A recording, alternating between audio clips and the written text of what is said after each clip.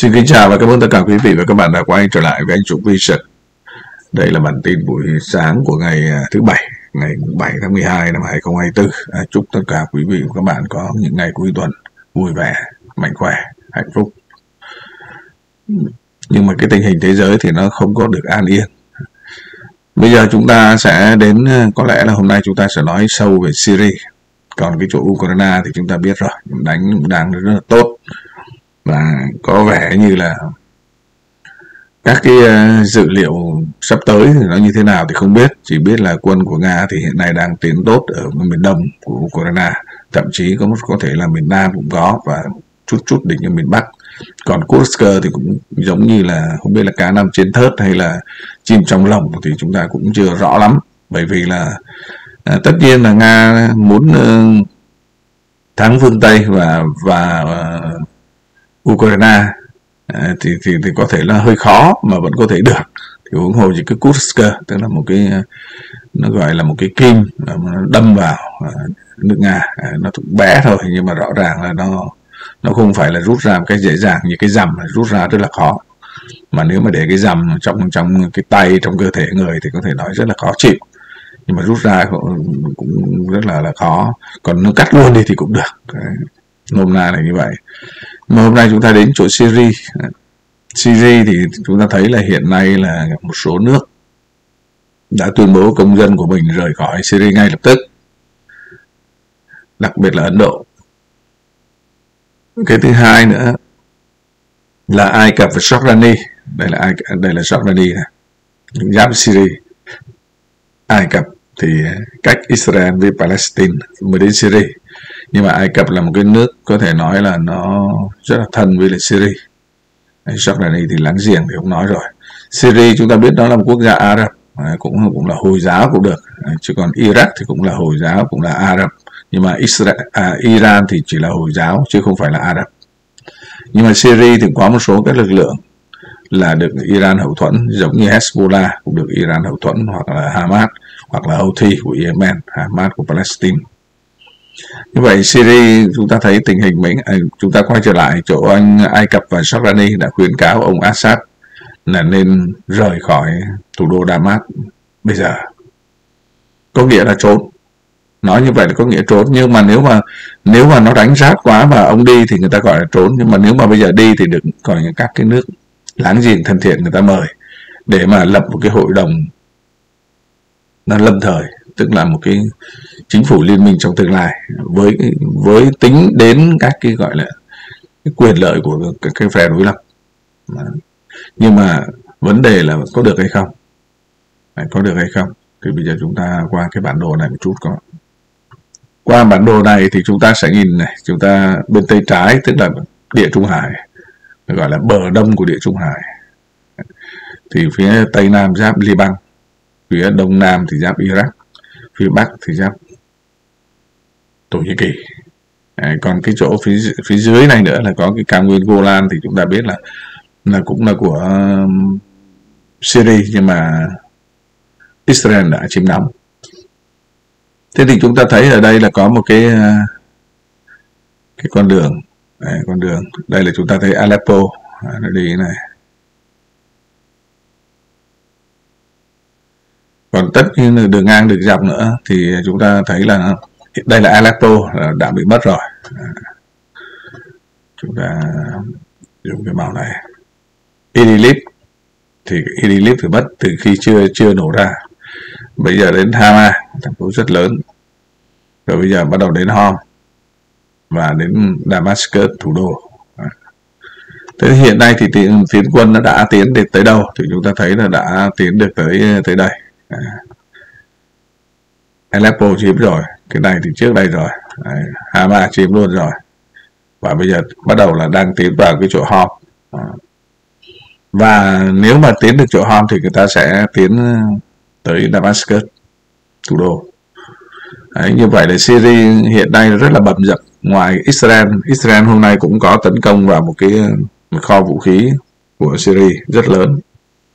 Đấy là chuyện của họ thôi thì chúng ta thấy là bây giờ là cái cái bản đồ này nó thể hiện cái gì? Cái thứ nhất đấy là cái màu màu màu gạch gạch này màu hồng hồng này thì nó là của quân đội Syria đang kiểm soát. Cái màu vàng vàng đây thì chúng ta thấy là cái nó là là lực lượng thân thổ nhĩ kỳ. Đấy, kiểm soát.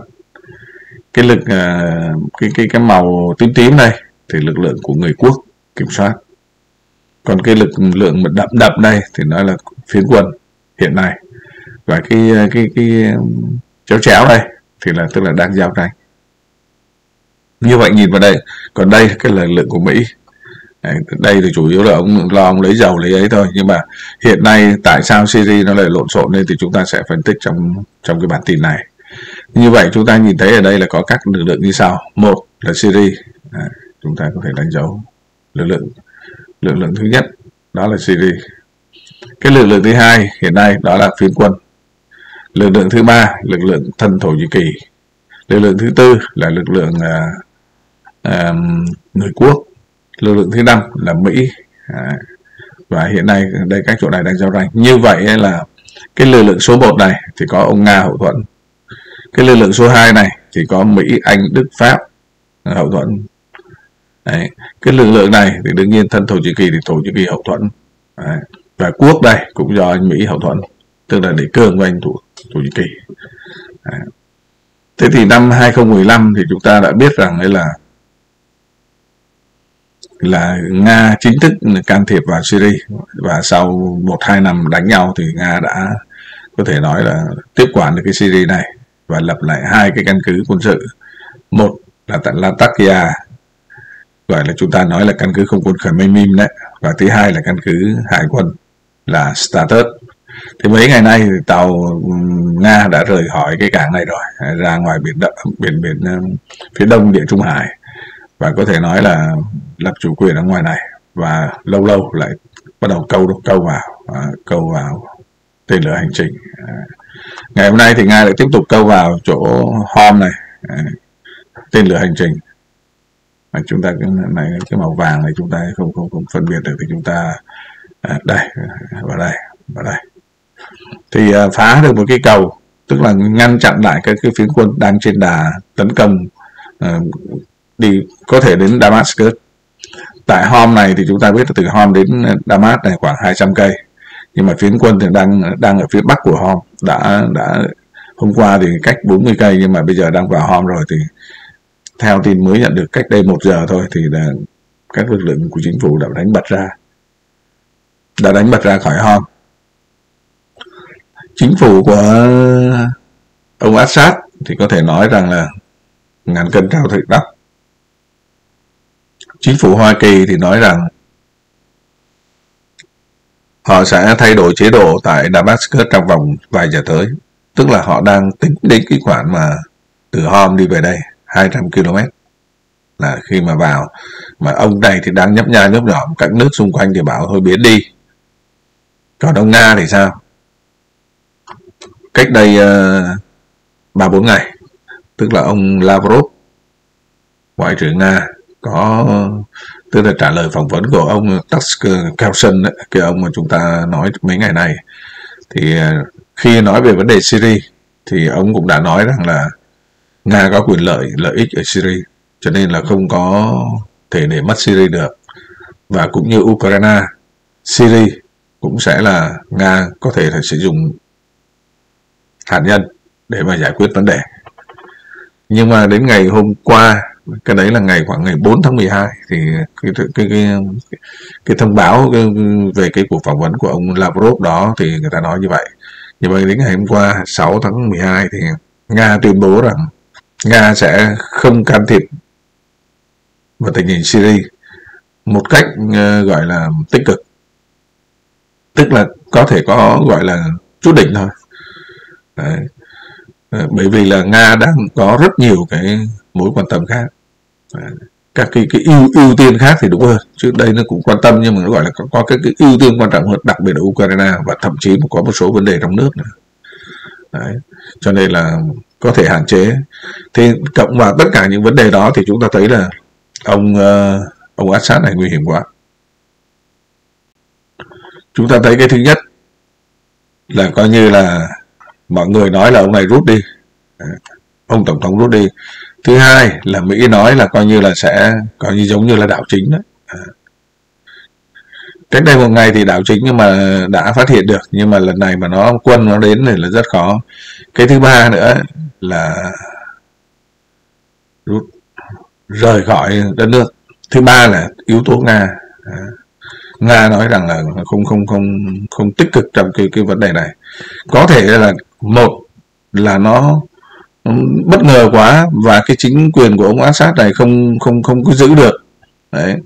Ờ, không biết là ăn chơi nhảy búa gì đó mà đến khi mà địch đến nhà rồi mới biết thế này rồi bây giờ mà coi như chết đến nơi rồi thì cho nên nga khó mà cứu được, thì tốt nhất là không cứu.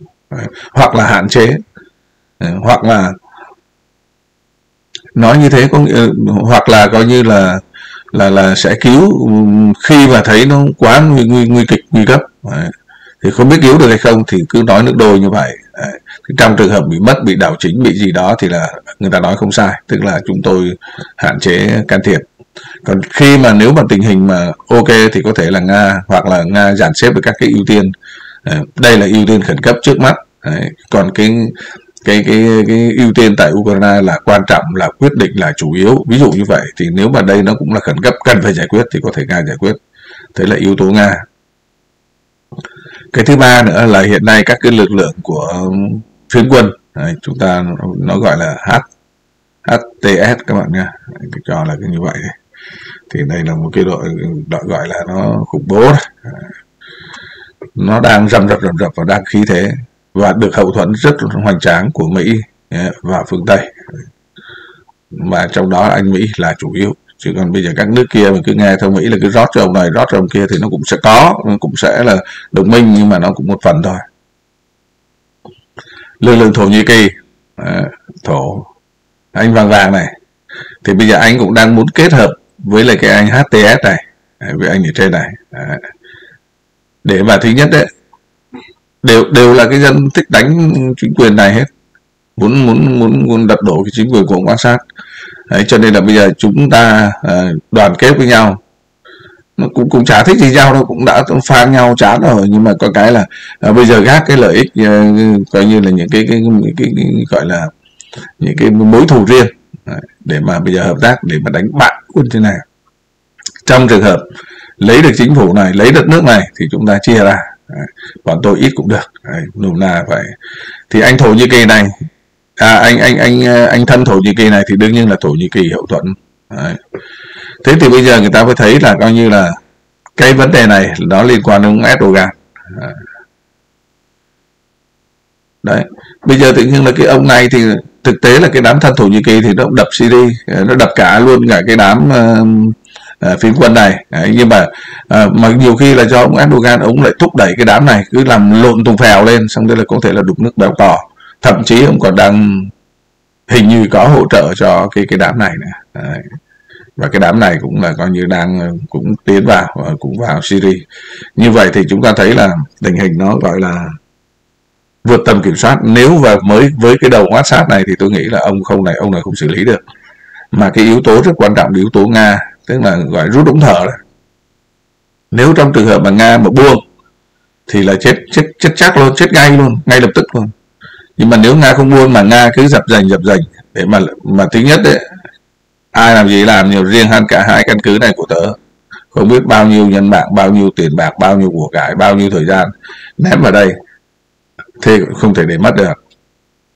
Đấy. còn trong trường hợp nếu cứu vãn được chính phủ cho nó đàng hoàng lên quân đội đánh cho tốt lên quyết tâm giữ thì có thể là nga sẽ giúp. Cộng thêm các lực lượng của iraq đang tiến vào lực lượng của Syria, uh, Iran cũng đang tiến vào. Đấy, cộng với tất cả các lực lượng này tấn công vào thì có thể là vãn hồi được. Nhưng tình hình rất khó nếu nếu mà có được thì cũng khó lắm. Trong khi đó thì máy bay B-52 của Mỹ à, là đã bắt đầu đến cái vùng phía đông nam của Syria, để có thể là đánh bom đàm áp hỗ trợ cho phiến quân tiến lên để mà coi như là làm chủ thủ đô, làm, tức là tức là nói còn nói cách khác là thay chế độ. Thế thì bây giờ nga ở đây làm gì? Tàu chiến thì có rất nhiều đồ chơi đồ chơi nhiều lắm. Đấy đấy thì chúng ta đang nói về cái tình trạng hiện nay ờ, là của các phe phái của các nước ờ, ngoài ờ, đối với chỗ ông Assad này. Thì có thể nói là hiện nay thì cái cái cái, cái lực lượng đó nó chỉ còn cách Hom có 40 cây sau đó là nó áp vào 20 cây thì Nga đã đã đánh vào cái cái cầu đó bằng ờ, tên lửa từ ngoài ngoài chiến hạm này đánh vào thì chúng ta thấy lúc ban đầu. Thế thì cho đến chiều qua thì quân nổi dậy đã chiếm được hai cái thị trấn rất quan trọng giáp ranh với Hom và cũng đang uh, tập hợp cái lực lượng cùng các cái khí tài để chuẩn bị tấn công vào thành phố uh, gọi là rất là chiến lược này có tầm quan trọng chiến lược này. Một số nguồn tin uh, với thân với phe nổi dậy thì cho biết rằng quân đội Syria đã rút khỏi hòm và hiện chỉ còn các cái cái nhóm vũ trang ủng hộ quân chính phủ chấn giữ. Đấy. tức là gì? Tức là cũng có những cái phiến quân mà nó lại bênh với chính phủ đây. Đấy. thì nó lại cầm cự ở chỗ hòm còn quân chính phủ thì lại rút. Đấy cho nên ở đây nó rất nhiều những cái cái, cái, cái gọi lực lượng các bạn nhé. Đấy. thì nếu mà chính chính phủ mà rút thì coi như là các cái lực lượng kia thì không lại đâu. Tại vì các lực lượng này thì thứ nhất đấy là nó đi đánh đánh nhanh như vậy một tuần và 10 ngày để chiếm được mấy cái thành phố rất là quan trọng. Gần như toàn bộ cái, cái khu vực mà sầm uất nhất trừ cái Damas là phía dưới thôi. Đấy là nó đã được Mỹ và các nước Đức Pháp Anh à, anh Pháp Mỹ Đức đó là coi như là nó hậu thuẫn. Thì bây giờ Nga bây giờ đang liên kết là ba bên. Nga à, Iran và Thổ Nhĩ Kỳ. Đấy, Nga cũng đang tương kế tiểu kế với Thổ Nhĩ Kỳ. Nhưng ông Thổ Nhĩ Kỳ này thì nếu nó bàn với ông này thì không khéo nó lại lại ông lại bàn ngược ra là một bàn ra đấy. hai là có thể là ông lại biết các cái bí mật đó là cuối cùng ông lại tuồn cho cho đồng minh à, cho Mỹ cho bọn thân à, thân thổ đây và thậm chí là cả cái đám gọi là phiến quân ờ, đang đang đồng hành đây. Thì là Nga thì bây giờ đang muốn là Nga Iran và Thổ Nhĩ Kỳ gặp nhau sớm để bàn cái cách cắt đứt các cái, cái gọi là cái nguồn viện trợ tiếp tế về vũ khí về tiền bạc cho cái cái, cái đám quân này. Đồng thời nếu mà ok là nga đập luôn vũ khí hạt nhân luôn. Thì hiện nay là nga thổ nhĩ kỳ iran đang xúc tiến cái việc này nhưng mà tôi nghĩ là tình hình hiện nay là cũng tương đối căng. Thì bộ quốc phòng của syria tối hôm qua cũng đã bác bỏ cái thông tin là coi như là là là đang ờ, quân đội chính phủ rút.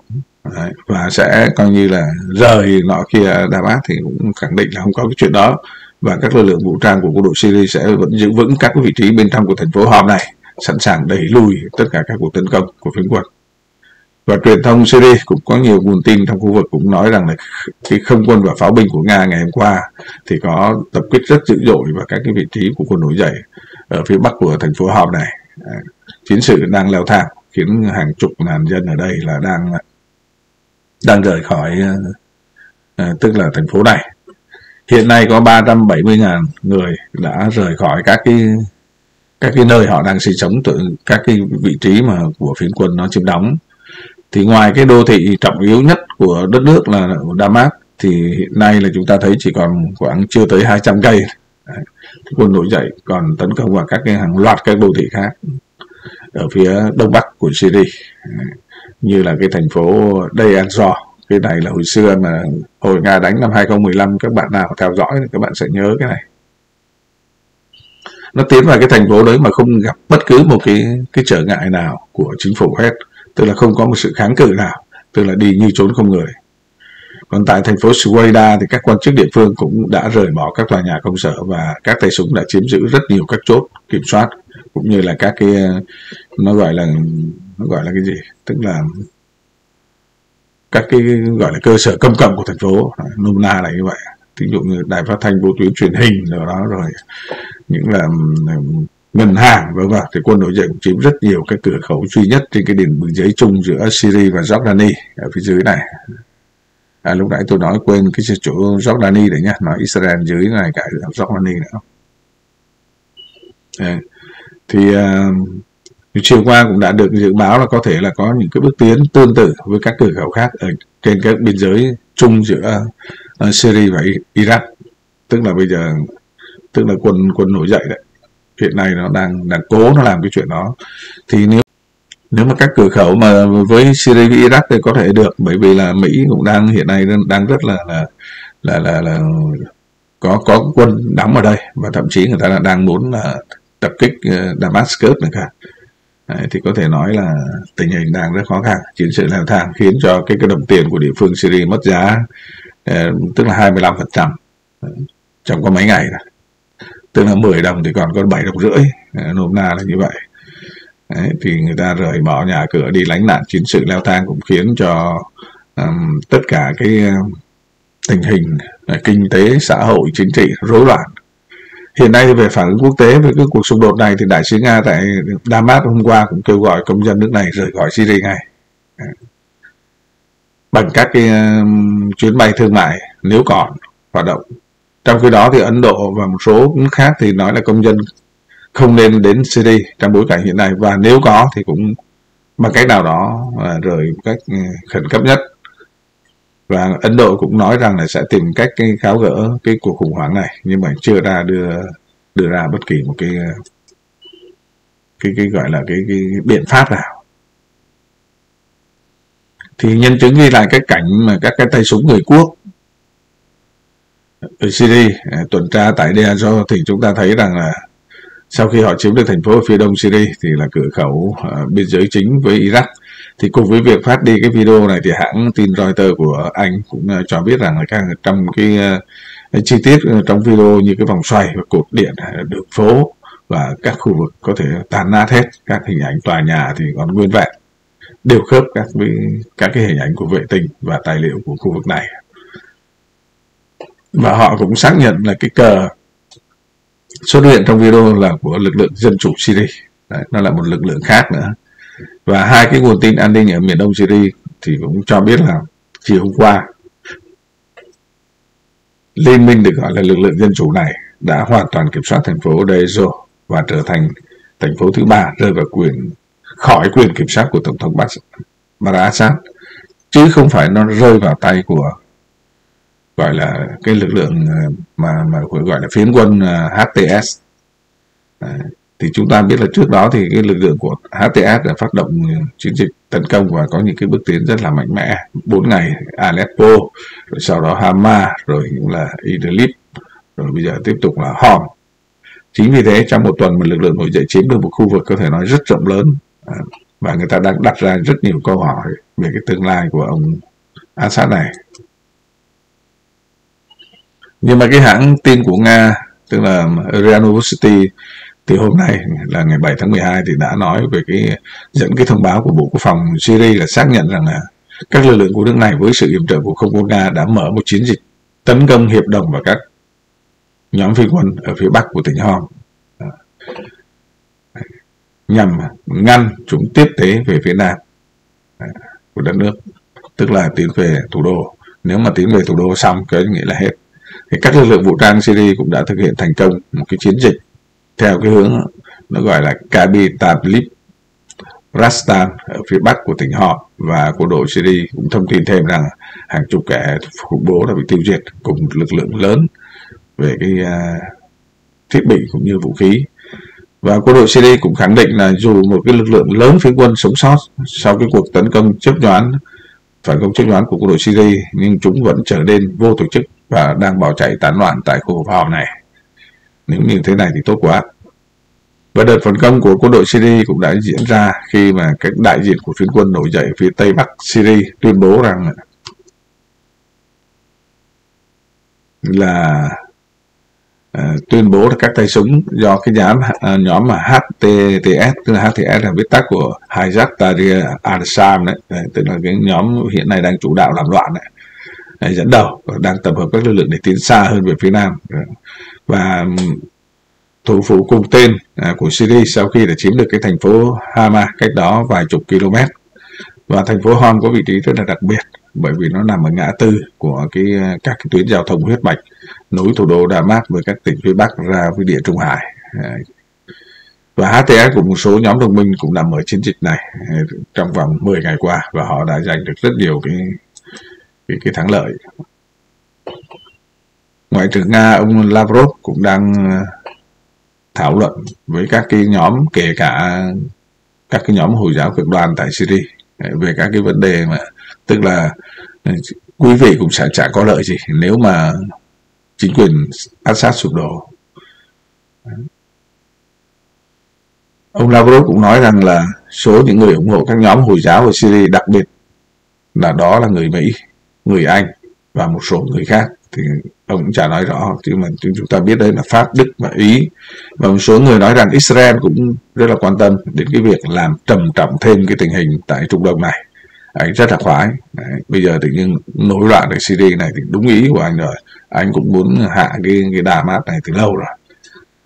Đấy thì à, ngày 5 tháng 12 chúng ta biết sau khi mà phỏng vấn xong thì ông Lavrov có đến Doha thủ đô của Qatar đấy. Qatar là cái nơi có thể nói là diễn ra cái cuộc họp của Bộ trưởng Ngoại giao USCE đấy, tức là, là an ninh châu Âu đó là một phần của trong cuộc gặp thì ông Lavrov sẽ gặp ngoại trưởng của Thổ Nhĩ Kỳ cũng như Iran để mà thảo luận về các vấn đề của Syria. Và ông Lavrov cũng nói rằng là hiện nay kênh liên lạc giữa Nga và Mỹ cũng đang rất là chặt chẽ tại Syria này. Bởi vì nếu trong trường hợp mà Mỹ sử dụng B-52 hoặc là Nga sử dụng các loại tên lửa vân vân thì đánh nhau kiểu gì đây? choảng nhau luôn hay thế nào? Thì trước đây thì chúng ta biết là ừ, ừ, đánh nhau thì cũng hai bên vẫn cứ đánh nhầm vào nhau cả. Đấy, nhưng mà nếu mà tình hình bây giờ nếu mà rõ ràng là là một bên là muốn lật đổ cái chế độ của Assad này và một bên thì muốn giữ thì có thể là choáng nhau thật. Đấy, nhưng mà người ta vẫn người ta vẫn đang có những cái bài tính nó khác nữa. Ờ, thậm chí người ta còn nói rằng là Nga có khả năng là bỏ Syria để giữ cái Ukraine. Đấy. Đấy, cái gì cũng được một thôi. Hoặc có thể giữ được cả hai. Còn mất cả hai thì không thể rồi. Đấy. trong khi đó thì Mỹ nếu mà và phương Tây ừ, ừ, nếu mà mà mà mà thất thủ ở Ukraine thì lại mở mặt ở đây. Đấy, thì nó cũng còn đỡ đỡ quê. Bởi vì chúng tôi đang lo cái chỗ chiến sự tại Trung Đông này mà là sao nhã cái chuyện đấy thôi thì trong đó và cũng có thể là như vậy. Thế thì thì thì hiện nay có thể nói Nga cũng đang đang cân nhắc. Mà cái khả năng Nga cũng không muốn mất. Một trong hai, hoặc là mất cả hai thì không có muốn rồi. Mà Nga phải nói là một là phải giữ bằng mọi giá thì phải là Ukraine. Còn nếu được thì cả hai càng tốt. Đó là như vậy thì trong các cái bản tin mà postcard của chúng tôi cũng có nói về cái, cái hiện nay về vấn đề mà mà giữ cái thể diện cho các nước phương Tây khi mà cái xung đột tại Ukraine nó có những cái tức là là biến chuyển bất lợi cho bên phương Tây cũng như Ukraine. Đặc biệt là trong cái cái giai đoạn mà nước Mỹ nó đang chuẩn bị tức là thay đổi nhân sự thậm chí nó còn đang cãi nhau là coi như cây thông Noel trong nhà trắng phải như thế nào là theo ý của của bà của, của bà bà Trung chứ không phải là của bà Biden nữa cả. Đấy. mà của bà Biden mà trang trí cái cái cái cây thông Noel trong đấy mà nó chơi màu đỏ đỏ rực. Và đỏ thứ nhất đấy là đèn nhiều quá thông thì phải thông xanh. Cái thứ hai nữa là nếu mà đỏ thì hóa ra là cộng hòa rồi chứ không phải là ờ, là dân chủ. Và cái thứ ba nữa là coi như là nó nó xin rúa nó trông nó nó nhức mắt, người ta còn đang muốn là coi như bà bà Melia bà vào và thay đổi luôn. Nhưng mà làm sao vào được? Bà cứ phải một tháng sau. Sau Noel gần một tháng sau mà mới vào được. Rồi, cái tình hình như thế. Thì nếu mà chúng ta theo dõi cái chỗ hòm này, tôi chỗ hòm này tôi nghĩ là sẽ quyết định cái ờ, có xoay chuyển được tình thế hay không còn nếu mà trong trường hợp Mỹ tiếp tục ném bom hoặc là nhảy vào ném bom rồi Nga bắt đầu bắn tên lửa rồi bắt đầu đánh nhau như thế nào thì cái tình, tình hình đấy là cũng chưa chưa rõ lắm. Cái thứ hai nữa là cái chính quyền của Assad ông phải tự thân vận động là chính chứ không phải ông chờ bên ngoài. Ờ, nếu mà mọi cái nó nó trở nên mất kiểm soát thì lúc đấy là sẽ tìm tùy theo tình hình mà một trong các bên sẽ người ta quyết định. Ờ, trong này nó sẽ có những cái lực lượng quyết định. Một là lực lượng của HTS dưới sự hậu thuẫn của Mỹ hai lực lượng của quân đội chính phủ dưới sự hậu thuẫn của của Nga. Và ba nữa là các cái lực lượng người quốc mà bây giờ lại lại nhớ lại mối thù xưa với lại chỗ HTS mà đập nhau thì cái tình hình cũng khác. À, hoặc là bây giờ ông ông Mỹ này ông là kích cái ông, ông người quốc này đập cái thổ Nhĩ Kỳ. Gì đó thì vân vân. Nói chung là cái chỗ này tôi thấy nó rất là phức tạp. Nhưng mà đối với tôi thì tôi vẫn nghĩ rằng là nga phải giữ. Quan điểm tôi là nga phải giữ vậy thôi chúng ta có thể chấm dứt cái cái series tại đây. Bây giờ chúng ta sang cái cái chỗ Hàn Quốc. Thì Hàn Quốc là bây giờ có thể là nói là nó rối rắm thật sự, chứ không phải là à, chỉ anh sướng lên cái là anh anh anh thích cuộc đời sống anh sướng lên cái là anh thôi. Rồi bây giờ các nội các bắt đầu bắt đầu lộn xộn lộn xộn. Mà hình như nó cũng có bốn đảo chính thật. Và hình như nó cũng đang có mối đe dọa từ Triều Tiên thật. Và hình như phe đối lập cũng muốn là coi như là đứng lên, coi thay cái chính chính phủ này. Mà các khả năng ông tổng thống này cũng sẽ rời chức vụ trong thời gian tới. Và như hôm trước chúng ta đã nói rồi cái bộ ba Biden với lại ông ờ, Roosevelt này với lại ông Kishida của Nhật bộ ba mà ở trại David của Mỹ này ờ, bàn nhau chống phá ở khu vực uh, Đông Bắc Á là gồm có Nga, Triều Tiên và Trung Quốc, Hàn Quốc và Nhật Bản. Thì muốn thành lập một cái NATO ở tại châu Á thì hôm trước chúng ta cũng nói rồi đây là nó gọi là Bắc Thái Bình Dương chứ không phải là Bắc Đại Tây Dương. Bắc Đại Tây Dương nó mới gọi là NATO. Quên nha thế thì nếu anh này tình hình coi như là rồi nó bây giờ nó, người ta lại đang muốn truy, tức là là muốn điều tra về cái bà vợ của ông này, đệ nhất phu nhân của tổng thống Hàn Quốc. Mà nghe nói bà này thì cũng giống như là vợ Zelensky, giàu lắm. Đồ chơi đầy người thì không biết thế nào thì cho nên là rất là khổ các bà. Không biết là Ờ, coi như là thành công nào của đàn ông cũng đằng sau có bóng dáng của của người phụ nữ. Nhưng mà sau thất bại của đàn ông thì đằng sau cũng là lù lù của một người đàn bà. Thì cái này là chúng ta cũng, cũng hãy chờ xem. Còn tình hình Georgia thì có vẻ như đã sáng sủa hơn tức là giải tán được cái biểu tình giải tán được cái đã bắt được các thủ lĩnh và hiện nay các cái nước ờ, Baltic cũng như là Mỹ là muốn ờ, cấm vận rồi trừng phạt ABC thì cái đấy chuyện đấy cái chuyện của người ta. Thì chúng ta cũng, cũng chả thèm nói thêm làm cái gì. Hôm vừa rồi thì chúng ta thấy là Nga tiếp tục là dùng các loại ờ, UAV Geranium tức là cái loại đấy mà nó cũng là cải tiến cũng rất hay đánh rất là hay. Thì tiếp tục là đánh vào Kiev Odessa và Kryvyi Ờ, ba cái vị trí này, đánh. Còn Ukraine cũng đã tuyên bố đã ờ, tức là chế, tức là cải tiến thành công một cái loại UAV có tầm xa 700 km Precolo thì có sẽ, có khả năng sẽ đem ra xài trong thời gian tới. Và như chúng ta biết là ngoài các cái tên lửa tầm xa có thể đánh sâu vào nước Nga, thì người ta nó cũng có những cái loại UAV không không biết là nó cứ đóng mát là Made in Ukraine hay không, thì chúng ta cũng cũng không rõ lắm nhưng mà là bay rất là xa. Tất nhiên nó nó sẽ xa hơn cái tên lửa. Nó nó có các có một cái gọi là tác dụng nó cũng phá hoại các cái cơ sở của nga ở bên sâu trong nước nga. À, cũng có thể nổ nhưng mà nó nó không có lợi hại bằng cái cái cái à, cái tên lửa. Nhưng mà cái này thì nó nó lại có một cái sự linh hoạt. Đấy, nó có cái cái hữu dụng là cái chỗ linh hoạt thì cũng rất là nguy hiểm cho cho nga. À ngoài ra thì chúng ta thấy là hiện nay chỗ Baltic đây thì NATO đang tập trận ở khu vực này. Đang tập trận ở khu vực này thì à, nó có vừa rồi đây là cái đảo này đảo Gotland này các bạn này. Đây, đảo Gotland này. Đây là nó thuộc thụy điển. Đấy. thế thì bây giờ là coi như là mấy ngày nay là cứ bị cắt. Đấy, mà hôm 10, 17, 18 tháng 11 rồi bị cắt uh, cáp hết các thứ là của bây giờ Litva là một này. Uh, Thụy Điển này Phần Lan này uh, Estonia này Đức đều dính cái này thì à, nó có một cái là gọi là nó nghi một cái tàu của Trung Quốc. Ừ, năm ngoái thì chúng ta thấy là một cái cáp quan của Estonia, Phần Lan bị cắt thì do một cái tàu của Trung Quốc là đi từ cảng Tây Saint Petersburg ra. Anh vướng lưới gì đó anh cắt. Đấy. xong bây giờ anh anh đang ở bên bên Trung Quốc rồi thì bây giờ các nước là nói là bây giờ phải đưa cái tàu về đây để kiểm tra xem có đúng ABC gì đó không. Thì bây giờ tiếp tục lại coi như là hai ba vụ nữa liên tục là cắt, là nó nó bị ảnh hưởng cũng không nặng lắm, nhưng có thể nói là nó nghiêm trọng. Có thể nói là nghiêm trọng. Bảo tắt hoàn toàn hay không, thì không không tắt hoàn toàn mà rất là nghiêm trọng. Thì hiện nay Đan Mạch đang giữ một cái tàu của Trung Quốc gọi là shipeng 3 thì trong này chúng tôi có nói trong một cái postcard ờ, thì các bạn bên ờ, truyền dũng thì các bạn mở bên đấy là các bạn sẽ tìm hiểu thêm về cái cái tình huống này.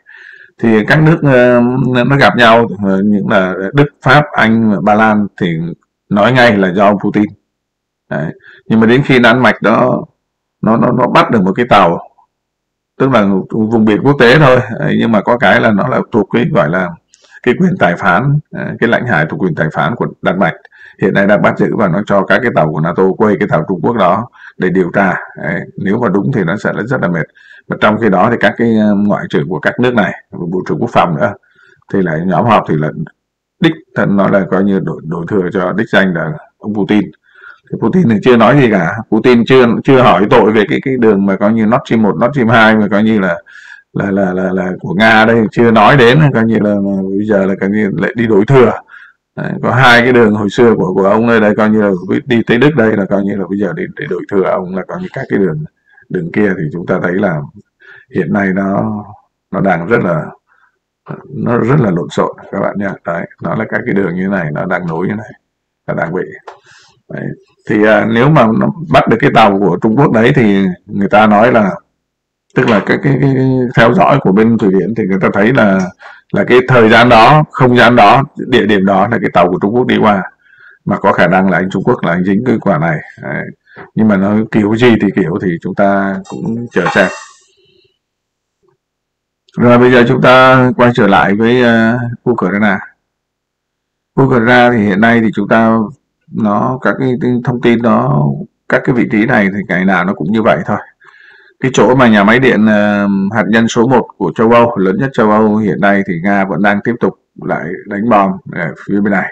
Và như hôm qua chúng ta biết rằng là Nga đang muốn đổ bộ qua bên này tại vì đường có thể chưa đi qua được nhưng mà các cái xuồng ấy có thể qua được thì cái này nó có đi đánh Zaporizhia hay không thì chúng ta chưa biết. Nhưng mà Nga sẽ tức là lập một cái vùng đệm để tránh cái sự tấn công của uh, trực tiếp và gần uh, nhà máy điện hạt nhân này. Vì dù sao đi chăng nữa là Nga đang gọi là làm chủ cái ở đây. Nếu có tình hình gì thì nó sẽ đổi thừa cho Nga. Cái thứ hai nữa là chỗ Robotina tức là Zaporizhia. Hiện nay Nga đang tấn công gần tới cái khu vực ờ, Orykhov rồi. Đấy thì nếu mà tấn công được như thế này thì nó cũng là như hôm trước chúng ta cũng phân tích là có hai con đường Malatomashka và đi qua cái Novodanilovka thì à, nếu mà được thì đấy là cũng sẽ tạo một cái vùng đệm thì lâu rồi chúng ta muốn là ít nhất là Nga cũng phải chiếm lại cái chỗ khu vực này. Mà hồi xưa là chúng ta biết là mùa hè năm ngoái là họ phản công ở đây. Đấy. thì hiện nay là lực lượng Nga đang cũng rất tốt ở đây. Còn chủ yếu là cái vùng à, chỗ Velika Novosinka này à, cái chỗ này thì chúng ta có lẽ là tôi vào cái bản đồ này thì nó sẽ ấy hơn à, nó sẽ tốt hơn. Cái chỗ này đây thì chúng ta thấy là phía trên này nó gọi là Novikova mà hôm qua chúng ta nói là bên Ukraine nó tấn vào xong nó chiếm được xong Nga lại tấn ra là, là coi như lấy được. Nhưng mà đến hôm nay thì là 50 50 các bạn nhé. Hôm nay là 50 50 Nga là ở phía trên tức là phía bắc. Còn uh, Ukraine là phía dưới của cái Novikova đó còn đây là cái chỗ ờ, Novosinka thì chúng ta thấy là sau khi Nga lấy được ờ, Plahotnia đây dưới này thì đang tấn công lên. Các khu vực này chúng ta thấy là nó đã bó sát rồi. Còn cái chỗ đông nam này thì là Nga đã vào rồi. Thậm chí là Nga đã vào hết phía trong này rồi. Thì uh, nó chỉ còn hai con đường. Đấy, một con đường này tại là phía nam là bên Ukraine đang đang giữ. Còn phía tây mà đi Gulipole thì cũng là bên uh, tức là tức là nga chưa chiếm thôi, nhưng mà thực tế là nga cũng kiểm soát. Ờ, tức là các cái xe tàu ông xe cộ đi qua là nga đã đã đánh. Nói chung cái, nó gọi là, đây nó gọi là block rồi, tức là cái này đang chờ chờ ngày chết thôi. Ờ, chờ ngày lên đường này tiếp theo chúng ta đến cái khu vực này. Thì đây là nó gọi là Uspenovka. Thì tình hình cũng rất là nguy cấp. Cái chỗ phía dưới này thì chúng ta Maximovka thì nga đã đang lên, đang đánh lên cái chỗ này. Cái chỗ này là chúng ta biết nó nó gọi là chỗ Sukhijali đấy. đấy, cái chỗ này thì đây là có cái sông này, lần lần lần lần này thì cái nga đã chiếm lên các chỗ này. Cái Uspanovka này nó sẽ bị bao vây bởi bởi chỗ Constantinople cũng như là cái chỗ chỗ gọi là Sukhijali này. Ngoài ra thì các cái khu vực ở chỗ Dania này thì tấn tấn tấn lại lại là có thể nói nhanh nhất. Đấy cái chỗ này là, là tôi nghĩ là, là là là chỉ gây áp lực về cái các cái đường này thôi nhưng mà cuối cùng là cái chỗ này đang vào được cái ngoại ô của cái Uspenovka rồi. Đấy, còn các cái lực lượng này thì đánh ở phía bên ngoài thì chúng ta không nói và chặn chặn các cái đường này thì ta không nói.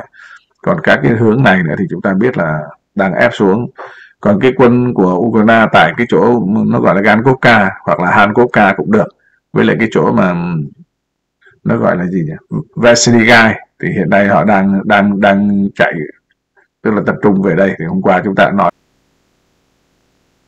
Thì hôm nay họ đang ờ, tập trung hết về chỗ Spanovka thì cái chỗ khu vực này thì ờ, ờ, theo chúng tôi đánh giá thì sẽ về về đích ba đây. Nhưng mà cũng không biết được tình hình này thì nga đánh có thể nói là dương đông kích tây rất là khó, cho nên chúng ta cũng không hiểu được nhưng mà nói chung là cái tình hình rất là bi đát. Cái chỗ bên ờ, uh, Vedika Novosinka thì tôi thấy bao vây. Còn để một cái cửa để, cửa chạy còn đây hiện nay tôi thấy không có cửa chạy mà nó sẽ tập trung về cái chỗ các cái pháo đài thành trì ở phía bắc này. Còn cái chỗ uh, Đội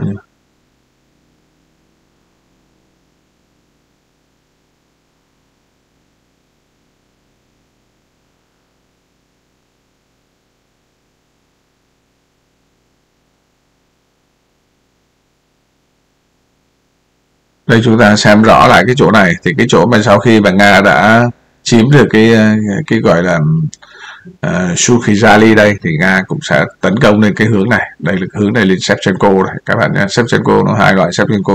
Một cái nó sẽ bọc trở lại cho, cho Constantinople. Và Nga cũng đã chiếm được một phần nào đó ở, ở đây rồi. Chúng ta thấy cắm cờ còn đây cũng cắm cờ. Như vậy là cái cái cái mà nó gọi là cái cái cái cái cái vạc ấy, thì hôm trước chúng ta vẽ rồi đây là cái vạc nhỏ thôi, chứ còn đây là cái vạc lớn này thì Nga cũng đang tạo ra rồi. Sau khi lấy xong này thì nó sẽ tạo ra cái vạc lớn trên này nữa. Thì hiện nay tất cả các cái mũi tên này của nga là đang tấn công vậy. Thì kiểu gì thì kiểu là họ cũng sau khi là trốn về đây rồi thì họ cũng sẽ tiếp tục họ đi ra hướng này. Về đây thì không được rồi. Mà bây giờ về đâu? Về đâu? Không biết, tôi nói là cũng không biết về đâu. Chỉ có chạy lên chỗ hướng Pakrovsk thì tất cả các cái này là nga đã phong tỏa tính hết rồi. Cho nên là nói chung là nó sụp đổ rất là nhanh các bạn.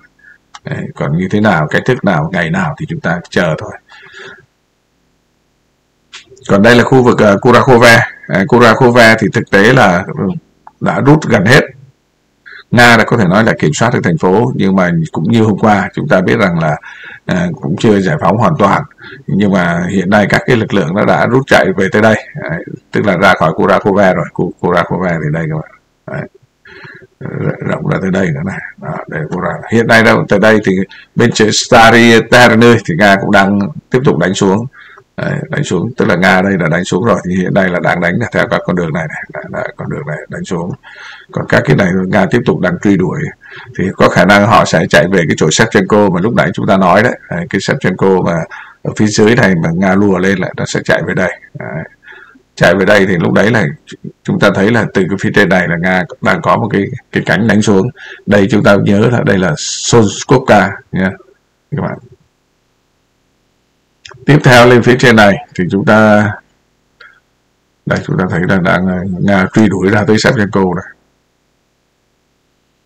Còn khu vực đây là Pakrovsk à, trên này là Pakrovsk thì cái chỗ này là chúng ta biết đó là chỗ uh, và Pushtina Pushtina của Pushkina thì phía dưới này.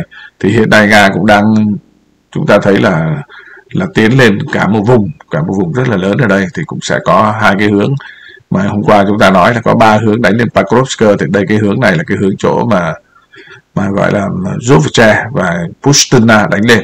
Còn cái chỗ này sẽ ra chặn cái đường mà từ cái chỗ mà dưới Uspenovka và Kurakova chạy lên đấy thì là Nga sẽ có cái đường này chặn. Thì chúng ta sẽ thấy cái khu vực này là cũng sẽ Nga sẽ bao trùm cái khu này. Đấy. sẽ lấy được cái khu này thì lúc đấy là lên Pakrovsk, Pakrovsk đây là là rất là là là dễ. Ngoài ra thì cái chúng ta biết từ từ Salinova cũng như Novogorovka người ta cũng sẽ đi theo cái hướng này. Và Gorovka thì đi lên hướng này sẽ gặp cái chỗ mà Mironov Mironov hát này. À, thì, thì chúng ta thấy là tình hình Pakrovsk đây thì nó cũng sẽ rất là nguy nguy cấp.